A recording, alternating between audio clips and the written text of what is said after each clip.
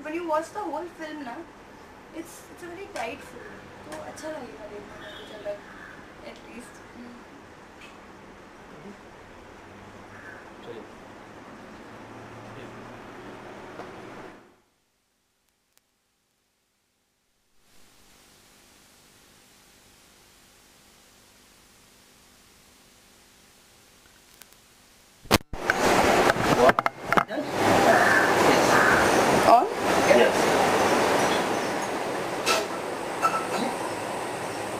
Sir सबसे पहले तो एक मिनट एक मिनट मैं आपको यहाँ देखूँ।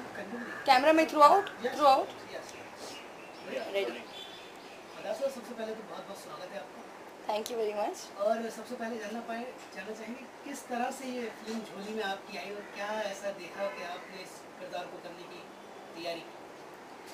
सम्राट एंड कंपनी खैर जो मैंने न्यूज़ में पढ़ा था जब कविता जी का पहला अनाउंसमेंट हुआ था कि वो सम्राट एंड कंपनी बना रही हैं जो एक एडवेंचर थ्रिलर है और उसमें राजीव का भी लुक आया था।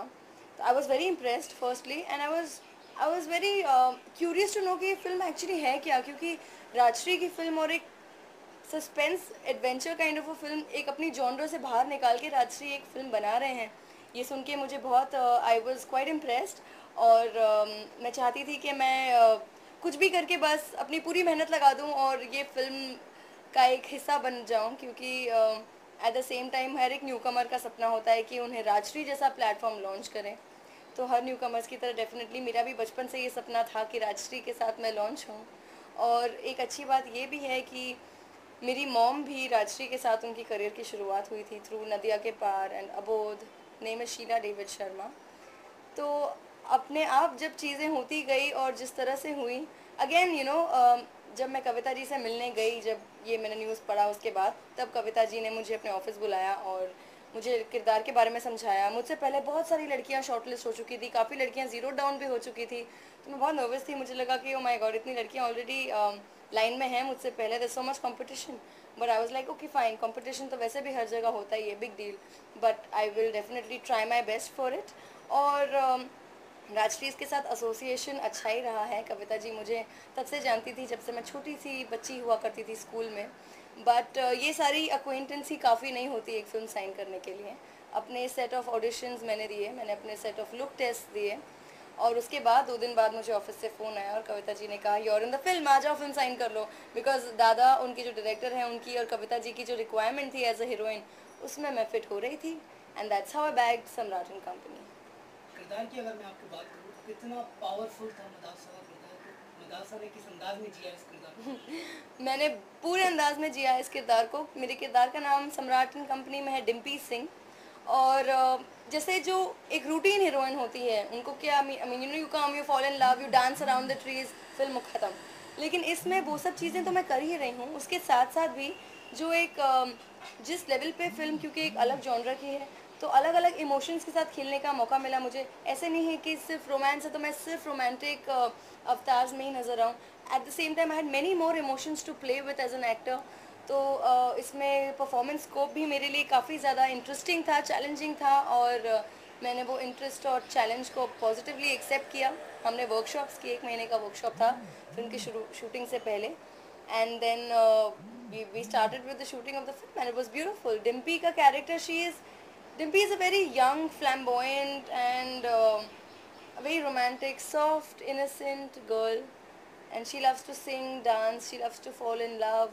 बहुत ही आजकल की इंडिपेंडेंट मॉडर्न लड़की भी है एट द सेम टाइम और अपने फैमिली वैल्यूज़ को भी बहुत नोचर करती है अपने पूरे परिवार के साथ शिमला की वादियों में रहती हैं अब तो फ़िल्म रिलीज़ हो गई हैं जिन्होंने फ़िल्म देख ली होंगी उन सबको ये बातें पता हैं जो मैं कह रही हूँ और that's that's what it and Dimpy के किरदार में रह के मुझे बहुत सारी अलग अलग चीज़ें करने का मौका मिला जो शायद एक सिंपल uh, किरदार में ना करने को मिलता तो फ़िल्म एक अलग कॉन्सेप्ट पर भी बनी है और uh, राजीव का भी जो पूरा लुक है it's the Samrat and the Samratism so definitely there were many more things I could see in this film which I probably couldn't see in the films I was offered before Samrat. That's why I chose this film to be my debut film.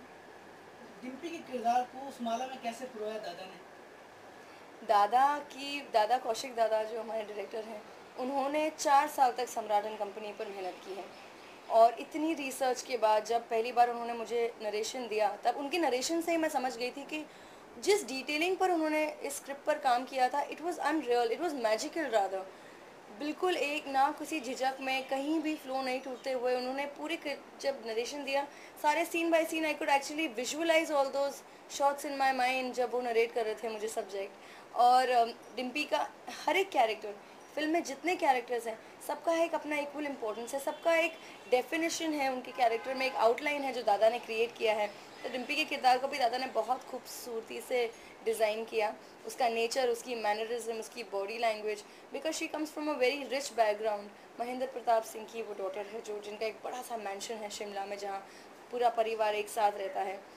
So being that extremely rich दादा wanted me to have an attitude and a body language poise of of probably a princess तो जिस तरह की फ़िल्में दादा ने मुझे recommend की देखने के लिए, या तो जिन फ़िल्मों में जो एक्ट्रेसेस हैं, उन्होंने अपने आप को उस तरह से कैरी फॉरवर्ड किया है ना being a princess you to maintain that dignity on your face your body language बहुत सारी छोटी छोटी डिटेल्स पर काम करना है, तभी जाके वो स्क्रीन पर कन्विंसिंग लगता है, वरना फेक लगता है, आप तो जानते ही।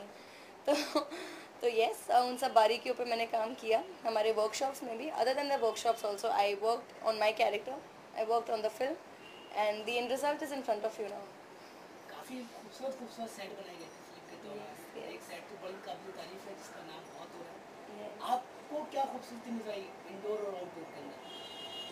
हर हर सेट को हर एक लुक को हर एक फ्रेम को बहुत बेहतरीन तरह से प्रेजेंट किया गया है। और कहीं भी ऐसी कोई चीज़ नहीं है जो आपको लगेगी कि ये फ़र्स्ट है। किसी भी, आप अगर कोई भी एक फ्रेम भी देख लेंगे, जो जितनी चीज़ें भी वहाँ रखी हैं, हर एक चीज़ के पीछे एक अपनी कहानी है। चाहे वो सम्राट का पेपर वेट ही क्यों ना हो, चाहे वो सम्राट का पेन ही क्यों ना हो, उसकी टोपी ही क्यों ना हो, लेकिन हर एक चीज़ में अपने आप ही बहुत सारी चीज़ें बोल रही थी उनके पीछे। तो जैसे हमने सेट भी बनाया था, उस पर भी काफ़ी आप, जब आप लुक देखेंगे तो एक सेट लुक आपको मिल जाता है, जिसकी बहुत रिक्वायर्ड रिक्वायरमेंट है हमारे सब्जेक्ट के लिए। तो घर के जो सेट्स बनाए गए थे, वो भी बहुत लाइविश थे। पहली बार जब मैं, पहला दिन था मेरा शूटिंग का और जब मैं सेट पर उतरी और जब मैंने दरवाज़ा खोल के सेट देखा I was blown I was like वाह ये मेरी फ़िल्म का सेट है। इतना खूबसूरत, इतना बड़ा, इतना इतना पिक्चर परफेक्ट तो हर एक सीन पर बहुत ज़्यादा मेहनत भी की की गई थी। हर एक सेट पर जो सम्राट का घर दिखाया है, जो मेरा घर दिखाया है हर एक सेट में जितनी जितनी रिक्वायरमेंट्स थी, जो जो ज़रूरत था, जितना देख, दिखाना चाहिए था, जितना दिखना ज़रूरी था, वो सब चीज़ें वेल बैलेंस्ड करके सारे सेट्स तैयार किए गए थे। आउटडोर्स भी आउटडोर में भी आप जितना भी फ़िल्म में देखेंगे, हर एक हर एक पेड़ पौधे से लेके एक, हर एक कली तक बहुत खूबसूरती से फ्रेम में रखने की कोशिश की है उन्होंने just to present it and make it look beautiful and बाकी का लुक तो आपने फ़िल्म में देख लिया है। एक्टिंग तो आप लोग मॉम से किस तरह के टिप्स मिले और कितने काम आए वो टिप्स आपको मॉम से मुझे रोज़ टिप्स मिलते रहते हैं एक्चुअली बचपन से लेके आज तक। इनफैक्ट ऐसा कोई एक दिन नहीं निकलता जबकि मुझे मम्मा कोई एक टिप नहीं देती। एक या हज़ारों टिप्स मुझे देती हैं रोज़।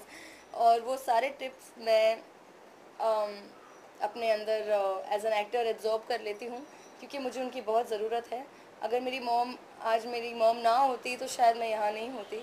क्योंकि जितना भी मैंने सीखा है, जितना भी मैंने एक्सपीरियंस किया है, जितना भी मेरे अंदर जो इंटरेस्ट जागे हैं being a child from now to getting into an adult वो सब मेरी मॉम की वजह से ही है। So I been seeing her work and also been so interested and I I look up to her as a performer तो जब मैं भी काम करती हूँ तो मैं कहीं ना कहीं सोचती हूँ कि क्या मैं उसके आसपास तक का भी काम कर लेती हूँ। बट बट येट अभी तो मेरी शुरुआत है। I have a long way to go but mummy से जो भी टिप्स मुझे मिलते हैं वो सब मेरे सराखों पर हैं। आई फॉलो देम कैमरे का किस तरह का केमिस्ट्री आया और किरदार की अगर बात करूँ तो किस तरह से कितने नर्वस थे कितने एक्साइटेड थे जब कैमरे का फ़र्स्ट लुक देखने को मिलता था। आमने सामने कैमरे से होता था। कैमरे से आमने सामने तो मैं सत्रह साल की उम्र में ही होना शुरू हो गया था जब मैंने अपनी करियर की शुरुआत साउथ से की थी। मैंने तेलुगु, तमिल, कन्नडा फ़िल्मों से अपनी शुरुआत की और पंद्रह साल की उम्र में अपना किशोर नमित कपूर से एक्टिंग कोर्स ख़त्म किया मैंने। तो कैमरा से रूबरू तो मैं हो चुकी थी but again at the same time जब सम्राट शुरू हुई तो डेफिनेटली नर्वसनेस शुरू शुरू में काफ़ी नर्वसनेस थी जब मैं राजीव से नहीं मिली थी। तब मुझे लगता था कि राजीव इतने बेहतरीन परफॉर्मर हैं इंडस्ट्री में इतना अच्छा काम कर चुके हैं, इतनी अच्छी फ़िल्में कर चुके हैं, उनका एक नाम है। तो उनके सामने मुझे परफॉर्म करना है तो वो सब मुझे बहुत नर्वस कर देता था कहीं ना कहीं। लेकिन जब मैं राजीव से मिली, जब हमने वर्कशॉप्स किए, तब मैंने ये बात जान ली थी कि वो जितने अच्छे एक्टर हैं, उससे उतने ही एक्चुअली जितने अच्छे एक्टर वो हैं, उतने ही अच्छे इंसान भी हैं। तो जब हमने काम किया तो मेरी सारी नर्वसनेस और डर, जितनी भी इनहिबिशंस थी, सब दूर हो गई। और बहुत ही बेहतरीन तरह से हमारे सारे सीन्स निकल के आए हैं, जो आप देखेंगे। तो पहले दिन काफ़ी नर्वसनेस थी जब मैं शूट पे आई एंड हमारा पूरा जितने भी लोग हमारी फ़िल्म में entire cast everybody including all the characters वो प्रेजेंट थे। तब मुझे लगा क्योंकि पहले ही दिन सबसे मुलाकात हो रही है, सबके साथ काम करने का मौका मिल रहा है तो वो काफ़ी एक्साइटिंग था मेरे लिए। I took all the nervousness and the anxiousness and the anxiety into excitement तो इसीलिए कि मेरे लिए और ज़्यादा खुशी वाली बात हो गई थी कि पहले दिन ही मुझे सबको फेस करने का मौका मिल रहा था। तो नर्वसनेस कुछ टाइम की बात थी लेकिन जैसे कैमरा शुरू हो गया सब कुछ भाग गया। जब जब कोई फ़िल्म में मेन लीड में स्टारकास्ट होती है तो कहीं 50 परसेंट मेल और 50 परसेंट फीमेल के ऊपर शोल्डर पर बोझ होता है। फ़िल्म को आगे लेके जाना स्क्रिप्ट की बात एक अलग करें अपने किरदार से ऑडियंस को रोकना बहुत बड़ी बात होती है। कितना कितना पावरफुल प्रेशर था या कितने अंदाज में जिया आपने उस चीज़ को? डेफिनेटली हर एक चीज़ हर एक किरदार ज़रूरी होता है एक फ़िल्म में।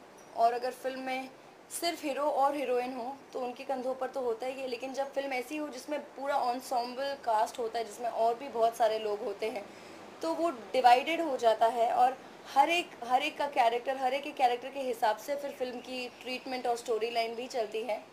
तो इसमें कोई प्रेशर वाली बात नहीं है कि अगर आपका किरदार जैसा भी हो, जितना इम्पोर्टेंट हो फ़िल्म में, उतना आपको प्रेशर हो जाएगा कंधों पे फ़िल्म चलाने के लिए। बिल्कुल नहीं। अगर आपका किरदार जितना ही मज़बूत हो और जितना ही ज़्यादा एक्सपोजर आपके किरदार को मिलता है, वो एज एन एक्टर एक अच्छी बात ही है मेरे लिए। और ये एक रिस्पॉन्सिबिलिटी अपने आप में है ही, क्योंकि आपको डेफिनेटली कहानी के थ्रू फ़िल्म भी चलानी होती है। क्योंकि अगर हम हमारी बात करें तो इस फ़िल्म में सम्राट का एक मुख्य किरदार है। He is the central character of the film और उसके इर्द गिर्द जो सारी चीज़ें बाकी की चलती हैं, उस तरह से कहानी आगे बढ़ती हैं। उसमें मेरा भी बहुत ही, बहुत महत्वपूर्ण हिस्सा हूँ मैं कहानी का, डिम्पी। कहानी की शुरुआत मुझसे होती है, जिस तरह से मैं सम्राट के पास जाती हूँ, क्योंकि मैं देखती हूँ मेरे परिवार में कुछ ऐसे इंसिडेंसेस और ऐसे किस्से हो रहे हैं, जो मैं खुद समझ नहीं पा रही हूँ। और क्योंकि मैं सम्राट नहीं हूँ तो मेरे अंदर वो सम्राटिज्म वाले स्किल्स भी नहीं है। So I can't I I fall to a conclusion to solve the problem happening in my my but yes I approach सम्राट तिलकधारी और फिर वो केस किस तरह से आगे लेके जाते हैं मेरे साथ आते हैं और ट्विस्ट एंड टर्न्स कैसे होते हैं और वहीं से रहस्य राइड की शुरुआत होती है। तो I took my character in a positive stride and I give it my best shot Rajeev भाई के साथ और विदाल की जो केमिस्ट्री है किस किस पॉइंट पर ऑफ़ स्क्रीन और ऑन स्क्रीन किस तरह की रही? जितनी आप देखेंगे ऑन स्क्रीन जितनी अच्छी केमिस्ट्री थी ऑफ़ स्क्रीन भी उतनी अच्छी केमिस्ट्री थी। क्योंकि आई uh, थिंक आप एज एन इंडिविजुअल जो uh, अपने को एक्टर के बारे में या चाहे वो आपके दोस्त कोई भी हो आप ऑफ़ सेट पे या ऑफ़ स्क्रीन जैसा उनके लिए फील करेंगे आप ऑन स्क्रीन भी बिल्कुल वैसा ही आपकी केमिस्ट्री नज़र आएगी। तो I am extremely fond of Rajeev I think I look up to him I respect him as an actor as a performer and I think I am very fortunate कि मुझे राजीव के साथ करियर की शुरुआत करने का मौका मिला। I think I for a newcomer like me I could asked for anything more than this तो uh, हमारी बहुत अच्छी दोस्ती हो गई जब हम वर्कशॉप्स कर रहे थे। हम एक महीने का लगातार वर्कशॉप हमने किया। एंड उस दौरान हमारे बीच में काफ़ी बातें हुई काफ़ी इंटरेक्शंस हुए। तो ऑन सेट भी हमें बहुत मज़ा आता था क्योंकि राजश्री का सेट था एट द सेम टाइम तो जब हम शूट करते थे तब माहौल बहुत ज़्यादा सीरियस होता था। पिन ड्रॉप साइलेंस होता था कोई बात नहीं करता था। लेकिन क्योंकि कि Rajeev is also very mischievous person by nature और मैं भी बिल्कुल वैसी हूँ। तो हम आपस में एक दूसरे के साथ काफ़ी मस्ती भी करते थे और हँसते खेलते पूरी फ़िल्म की शूटिंग हो गई और अब रिलीज़ भी हो गई है फ़िल्म सबसे ज़्यादा मज़ा कहाँ आया फ़िल्म की शूटिंग एक सेकंड कट करूँ थोड़ा मैं बहुत स्वेट हो गया। मॉम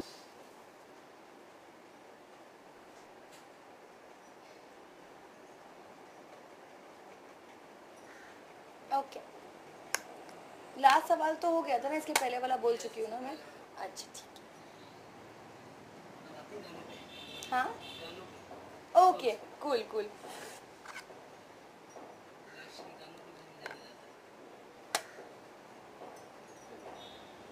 अच्छा साहब बताइए कि राजश्री जिस तरह से पहचाना जाता है फ़िल्म इंडस्ट्री में एक पारिवारिक फ़िल्म बनाने के लिए हाँ। जॉनर चेंज किया है लेकिन म्यूज़िक भी शायद उस अंदाज में चेंज किया या आपके पॉइंट ऑफ़ व्यू से या वही अंदाज? म्यूज़िक बिल्कुल वही अंदाज है म्यूज़िक का। और क्योंकि ये फ़िल्म अगर जैसे हम देखें ऐसे तो ये एक म्यूज़िकल फ़िल्म के सेगमेंट में नहीं आएँगी, क्योंकि इसका जॉनर एक अलग है। लेकिन एट द सेम टाइम क्योंकि हमारी फ़िल्म में म्यूज़िक भी उतना ही बेहतरीन तरीके से कविता जी और दादा ने रखा है तो ये हमारे लिए एक चेरी ऑन टॉप है। इट्स एन एडेड एडवांटेज कि हमारा म्यूज़िक भी बहुत बेहतरीन है, क्योंकि हमारे पास भी है music directors like Ankit Tiwari and Mithun ji. जिन्होंने इतने बेहतरीन गाने ऑलरेडी दिए हुए हैं, आप तो जानते ही हैं। आशिकी टू में और जितनी, इतनी प्यारी प्यारी फ़िल्मों में उन्होंने अच्छा म्यूज़िक दिया है। तो हमारे फ़िल्म में भी जब मैंने गाने सुने और जब हमने गाने जिस तरह से शूट भी किए पिक्चराइज भी किए, वो पता चल जाता है कि म्यूज़िक का लेवल उन्होंने बिल्कुल मेंटेन रखा है राजश्री ने। हर एक फ़िल्म में जैसे उनका म्यूज़िक जाना जाता है, वैसे इस फ़िल्म में भी वो ट्रेंड म्यूज़िक वाइज तो कंटिन्यू हो गई जॉनरा भले ही अलग है फ़िल्म का, लेकिन फ़िल्म का म्यूज़िक बिल्कुल राशि की हर एक फ़िल्म जैसा ही है। वेरी मेलोडियस ब्यूटीफुल सॉफ्ट और सबसे इम्पोर्टेंट बात ये है कि हमारे फ़िल्म में ज़्यादा गाने नहीं हैं, दो तीन गाने हैं, मगर वो गाने बिल्कुल वेल परफेक्टली पिक्चराइज्ड हैं। वो गाने कहानी को आगे ले जाते हैं। ऐसा नहीं है कि जस्ट बिकॉज़ एक बॉलीवुड फ़िल्म है और हमें गाने रखना ज़रूरी है तो भले ही हमारा जॉनरा एक थ्रिलर हो, लेकिन उसमें भी हम गाने घुसा दें यू नो गाने जो हैं वो बिल्कुल कहानी को आगे ले जाते हैं कहानी के माध्यम को आगे ले जाते हैं। सो so, टकीला वकीला जो पहला गाना है फ़िल्म का वो एक पार्टी सॉन्ग है और वो भी कहानी के ही फ्लो में आता है मोन्टाजेस है कहानी को जिस तरह से वो गाना कहानी को आगे ले जाती है। तो उसमें गणेश आचार्य जी ने कोरियोग्राफ किया उस गाने को एंड आपको शक्ति मोहन दिखेंगी उसमें। बहुत ही प्यारा गाना है very well short very good to listen to it's a foot tapping tapping tune and personally मेरा फेवरेट गाना जो फ़िल्म में है, वो है शुक्र तेरा, जो मिथुन जी ने कंपोज किया है।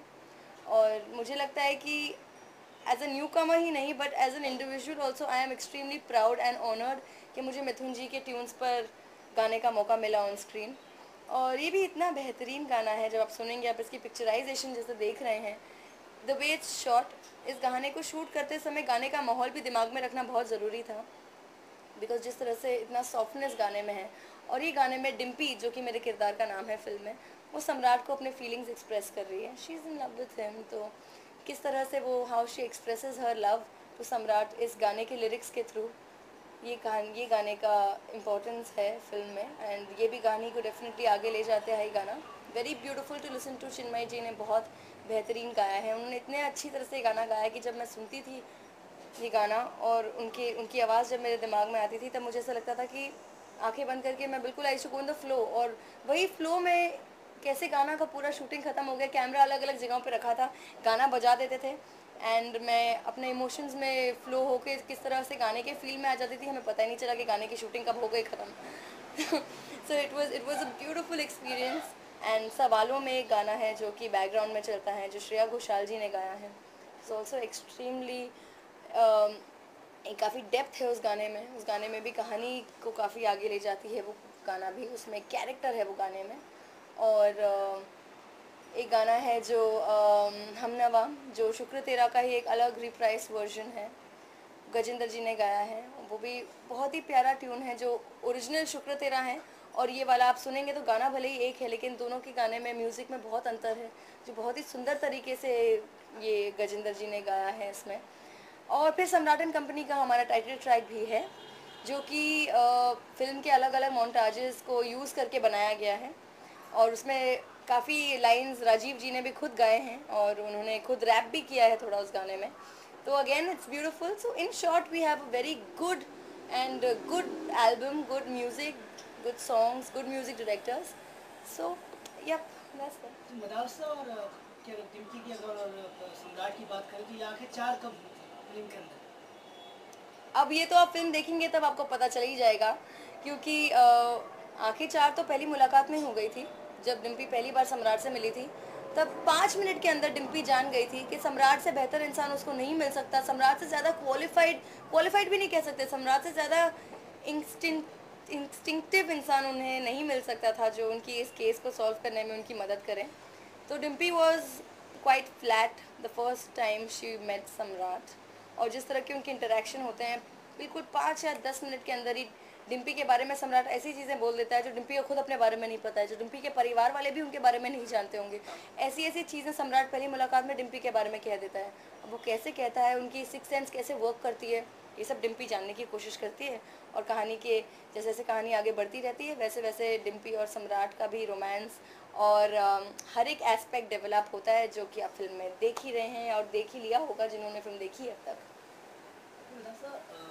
फ़िल्म का प्रोमो या फ़िल्म रिलीज़ होने का सबसे बेस्ट मैसेज आपके लिए कौन सा है? किसने दिया? वेल मुझे काफ़ी फीडबैक्स आए लोगों के और स्पेशली मेरे गाने पर भी शुक्र तेरा पे।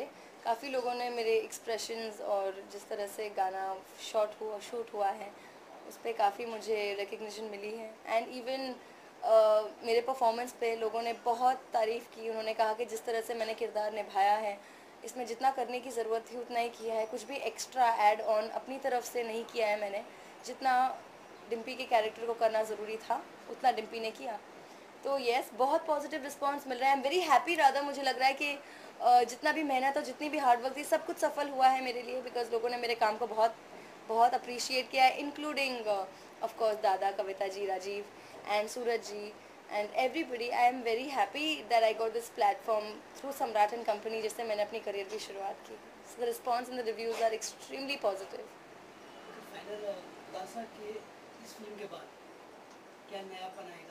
किस तरह के किरदार करना चाहोगे? किस तरह की चूजी बनोगी या किस तरह की स्क्रिप्ट की डिमांड है?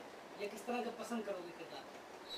इतने सारे सवाल। ठीक है, इन सब सवालों का निचोड़ ये है कि मैंने, क्योंकि इतना लंबा इंतज़ार किया था बॉलीवुड में भी, बहुत लंबा नहीं मतलब क्योंकि जब मैं साउथ की शुरुआत कर ली थी तो जब मैं वेट कर रही थी पेशेंटली कि ऐसी फ़िल्म के साथ मैं अपना डेब्यू करूँ, जो मुझे लगे मेरे लिए परफेक्ट है अपनी शुरुआत के लिए तो यस अब सम्राट एंड कंपनी तो हो ही गई है। इसके बाद जो भी मेरी फ़िल्म होगी, वो बिल्कुल उसके लिए मुझे हंड्रेड परसेंट कन्विक्शन होना बहुत ज़रूरी होगा।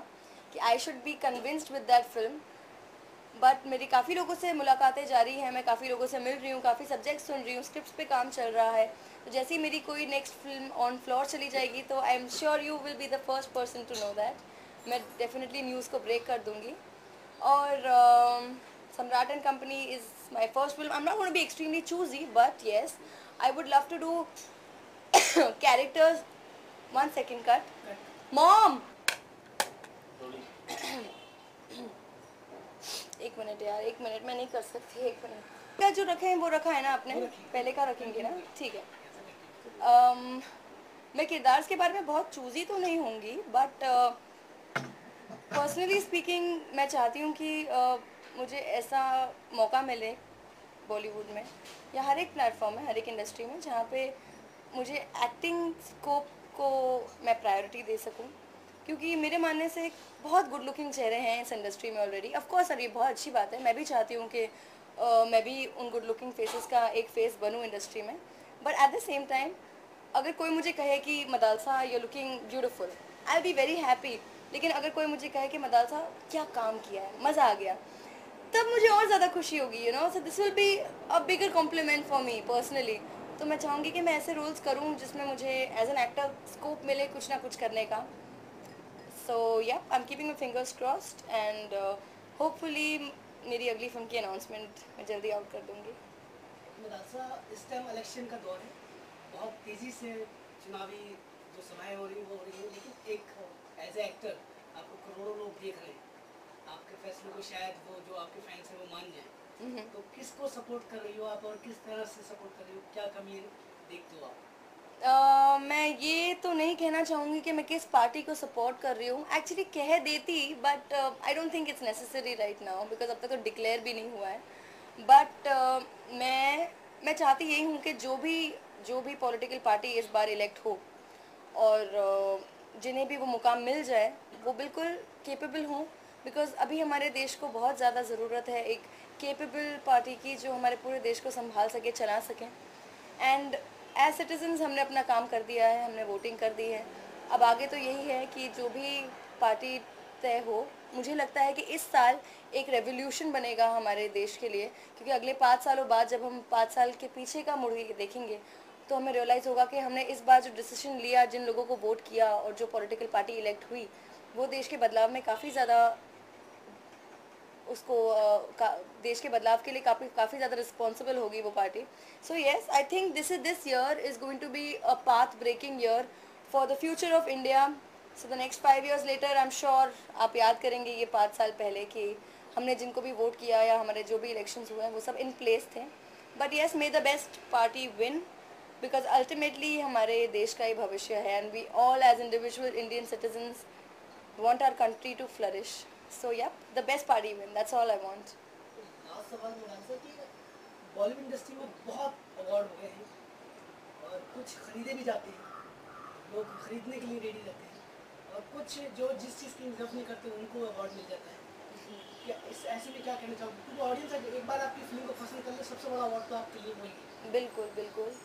ये वोटिंग लिस्ट है या फिर ये इस तरह का क्योंकि आज की तारीख में कम से कम डेढ़ सौ से ऊपर अवार्ड हुए स्टार के पास इतना टाइम नहीं कि दो घंटे आपके इवेंट में जाके बैठे ये चार घंटे वेट करें उसके बाद उसका नंबर आए उसका अवार्ड मिले। इसमें उसका भी नुकसान होता है क्योंकि उसके पीछे भी उसका घर बहुत वेट करता है इंतज़ार है। बिल्कुल। सोलह घंटे शूटिंग करने के बाद आठ घंटे वो घर वालों को नहीं देगा तो फिर किसको देगा? क्या कहना चाहोगे इस मुद्दे पर? मैं यही कहना चाहूँगी कि अब हर एक इंसान का अपना एक तरीका होता है। आप सारे तरीके तो नहीं बदल सकते। हाँ मैं मानती हूँ कुछ तरीके गलत होते हैं। अगर इंसान काम करता है और इंडस्ट्री में एज एन एक्टर है तो अगर आपको अपनी काबिल यू नो कैपेबिलिटी के बिना पर अगर कोई अवार्ड मिल रहा है तो ये तो बहुत ही एक एक्टर के लिए बहुत अचीवमेंट वाली बात होती है। और जैसे कि अगर मैं बात करूँ, क्योंकि मेरी तो करियर की अभी शुरुआत ही हुई है तो मैं बहुत एक इनिशियल स्टेज पर हूँ अभी अवार्ड्स के बारे में बात करने के लिए तो। बट येस डेफिनेटली जैसे आपने कहा, सबसे बड़ा अवार्ड मेरे लिए फ़िलहाल यही है कि लोग मेरा काम पसंद कर रहे हैं, लोग मुझे पसंद कर रहे हैं। तो ये मेरे लिए अवार्ड से भी बड़ी अचीवमेंट है फ़िलहाल। और आई बात उन चीज़ों की, जैसे आपने कहा, कुछ लोग अगर ख़रीद के इंटर अवार्ड्स करते हैं, इन सब चीज़ों पे फ़िलहाल मुझे इतना ज़्यादा नॉलेज नहीं है क्योंकि मैं नहीं जानती कि ये बात पूरी तरह से सच है या गलत। तो मैं इस पर अपना टेक तो नहीं दे पाऊँगी because I am not sure whether this is actually true और no if it's true it's sad and if it's not true it's very good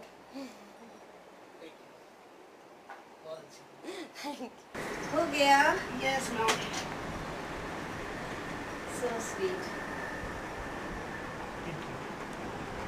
आपको तो मैंने बहुत देखा है ना। मैं उस दिन आपसे मैंने मिला था ना तनिष्क के इवेंट में। हाँ वही वही वही वही वही।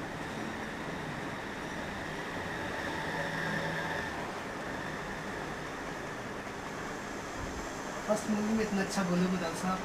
पता नहीं आगे आने वाली कितनी फ़िल्मों में कितना अच्छा बोलोगे आप। हाँ। और she is a very intelligent girl मैंने साउथ की फ़िल्म देखी है आपकी देखिए यस मुझे याद नहीं आ रही कौन सी देखी साउथ की फ़िल्में देखता हूँ आप? हाँ। सेट मैक्स पे और टीवी स्टार हाँ उस पर आती है हाँ। उसमें मैं अभी डिपेंड आपने कौन सी फ़िल्म देखी हो। पहली वाली पिक्चर जो है उसमें मैं छोटी हूँ काफ़ी एम सेवनटीन तो उसमें बेबी फैट वगैरह है मेरा काफ़ी। बट आगे आगे की फ़र्स्ट रामा नायडू वाली फ़िल्म अच्छी थी मेरी तेलुगु की। मैंने साउथ में दो फ़िल्में की थी एक डॉन नंबर वन डॉन हाँ नागार्जुन वाली. दोनों। वो भी फ़िल्म आई थी मेरे पास लेकिन तब मैं बहुत छोटी थी पंद्रह साल की थी तो इसलिए मैंने वो वाली नहीं की।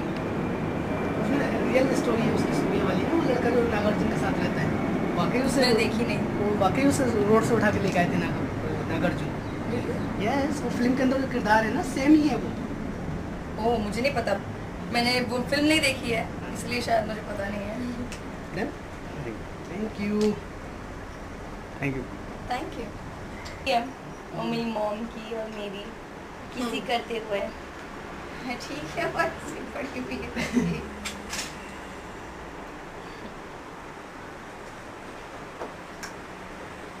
इसी महीने में